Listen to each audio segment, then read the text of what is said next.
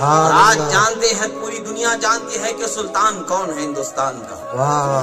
तख्त बदलते रहते हैं हुकूमतें बदलती रहती हैं कुर्सियाँ बदलती रहती हैं कुर्सियों पर बैठने वाले बदलते रहते हैं मगर अजमेर की सरजमीन पर एक अल्लाह का बंदा आराम कर रहा है। कयामत तक के हिंदुस्तान पर उसी की हुकूमत को खुदा जारी फरमाने नारे